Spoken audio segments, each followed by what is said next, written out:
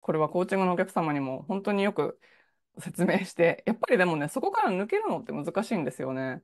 私自身も本当にずっともう勝たなきゃいけない、打ち負かさないといけない、自分が正しいんだから絶対におかしいだろ、向こうは、みたいな、本当に文脈によって変わるんですよね。何が正しいか正しくないっていうかっていうのは。こんにちは。キャリアとビジネスのサクセスコーチ、吉川ゆりです。今日はですね、子供を見ていて思ったことなんですけど、正しさっていう、私が正しいっていう思いを捨てるっていうことについてお話をしていきたいと思います。日常生活で、例えば会社とかで、私が正しいのにとか、私が言ってること正しいのにとか、あの人間違ってるとか思うことってないですか？私もすっごいあって、そういうのが昔すごくあったんですよ。私が正しいのになんでとか、私が正しいのにわからない相手がおかしいとか、私が正しいから相手を説得しなきゃいけないとか、なんかそういうのがずっとあったんですよね。で、それがあったがゆえに、人生がすごく停滞してた時期があって、それが一つの要素だったんじゃないかなって後から振り返って思ったんですよね。その自分が正しい正しくないとか、相手が間違ってるとか、そういうのって、結局、なんかものすごく初歩的というか、人間の意識の中で、そ、そこまで成長してない。幼稚園生とか小学生でも同じようなことを言うんですよ。自分が正しいのになんで私の方が正しいのにとか。喧嘩する時とかも、いや、私の方が正しくてあんた間違ってるよねとか喧嘩してるんですけど、小学生とかで。私が正しいのにこういう風になるのは不公平だとか。なんかそういうのって、もう私の息子とか幼稚園の時から言ってたんですけど、結局、なんかそこの 意識から正しい正しくないとか二元論みたいな感じ、黒か白かみたいなのとか、善と悪とか黒か白かじゃないですか。そういうのって結局単純なんですよね。論理構造として。だから、ちっちゃい子でも理解できるんですよ。でも、そこから大人になると、もっと複雑な論理構造が理解できるようになるから、パラドックスみたいな、グレーのシェードが何、何種類もありますみたいな、そういう考え方とかが脳が発達してきたらできるようになるんですけど、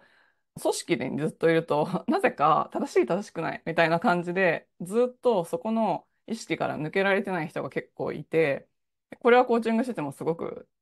気づくんですけど、そういうところの論理にいつまでも縛られたまま、えっと、ずっと大人になって生きていたら、あるところですごくその枠みたいなのが自分に当てはまっちゃって、そこから出てこれなくて、すごく悩んでる人がいっぱいいるなと思って、その自分自身で決めた何が正しい、自分が正しい、自分が勝たなきゃみたいな、そういう枠の中に入っちゃって、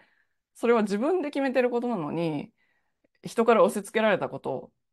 のように感じて、なんか苦しいっていう風になってる人がすごい多いなっていう風に感じるので、そこをちょっと外してみるっていうのが一つあるんじゃないかなと思います。これはコーチングのお客様にも本当によく説明して、やっぱりでもね、そこから抜けるのって難しいんですよね。私自身も本当にずっともう勝たなきゃいけない、打ち負かさないといけない、自分が正しいんだから絶対におかしいだろ、向こうは、みたいな感じだったんですけど、もうそれを世の中に正しい正しくないっていうのは本当に文脈によって変わるんですよね。何が正しいか正しくないっていうかっていうのは。そんな文脈によって変わることにこだわっていたら、自分が本当になんか結果として例えばこう、会社で何かこういうプロジェクトを成し遂げたいんだっていうその結果に対して、そこにこだわることによってマイナスになるっていうことが気づいたわけですよ。ってことは、その正しい正しくないっていう軸を外した方が、その自分の目的は達成できるっていうことが分かったから、自分が正しいとか、相手が正しいとか、相手が間違ってるとか、自分の方が間違ってるとか、そういう思考のフレームを取り除く、まあ、手放すっていうことなんですけど、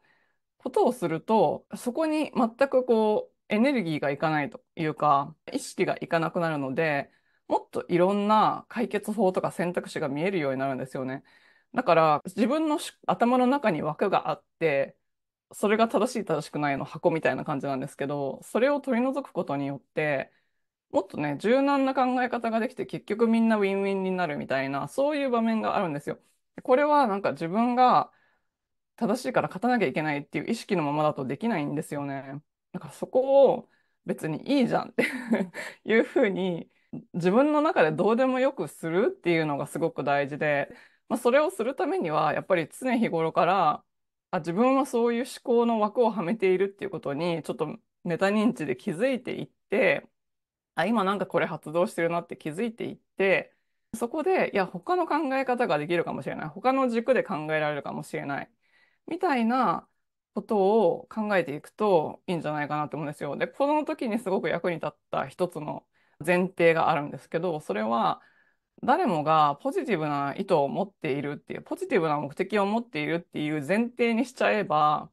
どんな人でもその人の世界の枠組みの中で、こうすることがいいに違いないって思ってやってるから、なんかその人にとっての正義っていうのがあって、でもそれが私にとっての正義とは違う可能性がめちゃめちゃあるわけじゃないですか。そのことが分かれば、じゃあみんながポジティブな意図を持ってるんだったら、正しい正しくないっていうのを外して、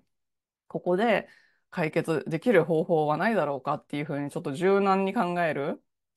そうすることによって、やっぱキャリアも動いていくし、キャリア以外の仕事以外の人間関係とかでも対立が減って、もっと最終的には自分が勝った負けたって言っている時よりも自分にとって楽だったりとか、自分にとって満足感があるような生活になっていくんじゃないかなって思うんですよね。なので、まあ、このお話を聞いてる方は多分なんか自分の思考って今ちょっと限界を感じてるっていうことがあると、そういう方が多いと思うんですけど、そういう時はなんか頭の中で白黒思考になってないかっていうところで考えていったらいいんじゃないかなって思います。自分を変えたい、人生を変えたいと思ってる人、すでに人生で多くのことを成し遂げて満足してるけれど、もっと大きなことをやってみたいとか、次のレベルの成功を目指したい人、他にも同じようなことを考えている女性のいるコミュニティに入りたい人、Happily Ever After 未来デザインメンタリングコミュニティは、そんな女性のための無料のコミュニティです。コミュニティには、自己啓発、ハイパフォーマンス、引き寄せ、NLP など多彩なトピックの週1トレーニング、アクションプランニングセッションなど無料のマスタークラスやワークショップ、おすすめの本の紹介などモチベーションが上がる投稿などコンテンツ盛りだくさん。興味のある方は QR コードまたはショーノートのリンクから参加してくださいね。